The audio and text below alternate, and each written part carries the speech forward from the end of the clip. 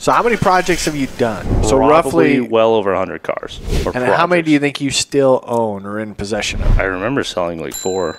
I don't. Some of them are cars we never own. We do them for people. Like we'll get a hold of the family. It's like, hey, Grand National was a good example. I tried to buy it for years, and I am very glad I did not because that thing was a turd. Eventually convinced the family. I'm like, hey, look, here's the deal. I want to do a video on the car. I do not want to own the car. I will pay for all the parts to put your car back on the road and then give it back to you. And they're like, well, that sounds sketchy because why would anyone do that? Right. But then once we explain it, we show them a couple videos. They're like, "Oh, okay, I get it now." And then sometimes we'll say yes, and we'll go fix someone else's car. And then at the end, I'll be like, "All right, we've got eight hundred dollars in parts into it. Here's your car. Goodbye." And then I never have to see that thing again. Do you get a thank you card though?